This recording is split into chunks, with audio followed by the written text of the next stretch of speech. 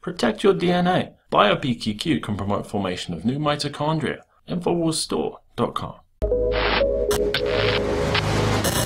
After roughly six years, the United Nations has finally apologized for bringing the ongoing cholera outbreak to Haiti following the 2010 7.0 earthquake that struck southwest of Port au Prince and devastated the already suffering island nation.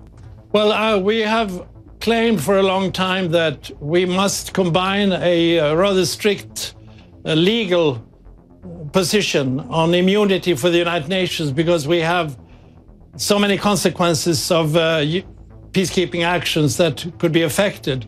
The UN continues to deny that their Nepalese contingent unleashed the cholera outbreak, even arguing that the cause was unimportant. The spreading cholera outbreak has killed at least 9,300 Haitians and infected 800,000 more, and is currently spreading like a pandemic to the Dominican Republic and Cuba. This was the first time in Haitian history that cholera had reached Haiti, according to professors at Duke University. Clearly, either the occultist elitist New World Order is incompetent or negligent, or just a cog in the vampiric wheel preying on the Haitian people with an ulterior motive. And Venezuelan leader Hugo Chavez has once again accused the United States of playing God.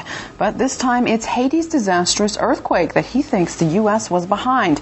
Spanish newspaper ABC quotes Chavez as saying that the U.S. Navy launched a weapon capable of inducing a powerful earthquake off the shore of Haiti.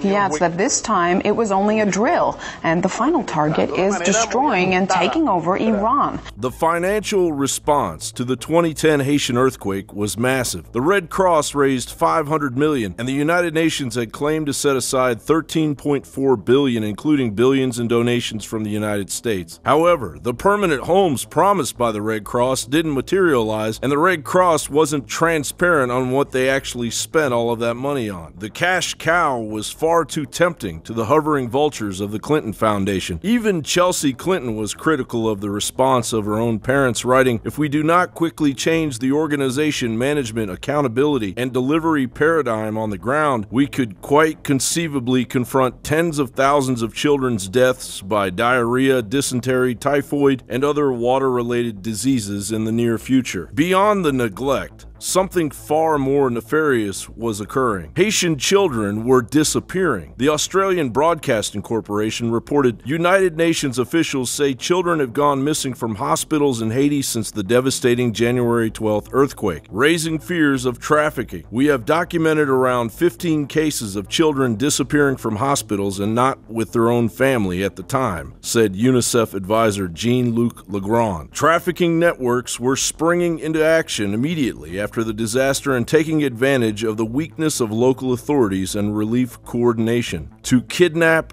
children and get them out of the country, reported the Australian Broadcasting Corporation. One such person arrested for trafficking was New Life Child's refuge owner Laura Silsby, who, according to WikiLeaks documents, Hillary Clinton had been very interested in nine years before the 2010 Haitian earthquake, and it was Bill Clinton that used his former presidential weight to have Silsby essentially freed. Oddly enough, on November 14th, the Laboratory to Combat Human Trafficking reported that Monica Peterson, investigating the Clintons' involvement in Haiti for the Human Trafficking Center, mysteriously died the day before. Peterson had been highly critical of the Clinton Foundation, writing on her blog Hillary Clinton should get far more scrutiny for her scandalous conduct in Haiti. From rigging the March 2011 presidential election for her favored candidate Michael Sweet Mickey Martelly, supporter of the CIA created death squad, to ensuring that her brother Tony Rodham and a company that barely exists got a sweetheart gold mine concession in Haiti that royally cheated the state of Haiti. In a letter to her friend, Peterson had uncovered two huge trafficking scandals and a social displacement scandal with billions in unaccounted earthquake aid leading directly back to the Clintons. She had just begun investigating the correlation regarding the Clinton Foundation's Caracol Industrial Park complex and its connection to a human trafficking network when her life was mysteriously cut short. Something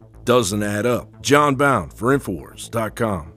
In case you haven't heard, InfoWars has become the most influential media outlet in America. We're making freedom go viral. And now we are proud to announce a new weapon in the epic battle against the globalists InfoWars Prime, where you can watch live high definition feeds of The Alex Jones Show, plus exclusive insider videos from the InfoWars crew and behind the scenes action. Go to InfoWars.com forward slash app and download today today. InfoWars Prime is available right now for your iPhone or Android. You will have access to exclusive videos that you can't see anywhere else. And that means live coverage of events and breaking news on location as it happens. You can also take advantage of amazing deals from the InfoWars store that are only available for InfoWars Prime subscribers. That's InfoWars Prime at InfoWars.com forward slash app. And if you can hear my voice, you are the resistance.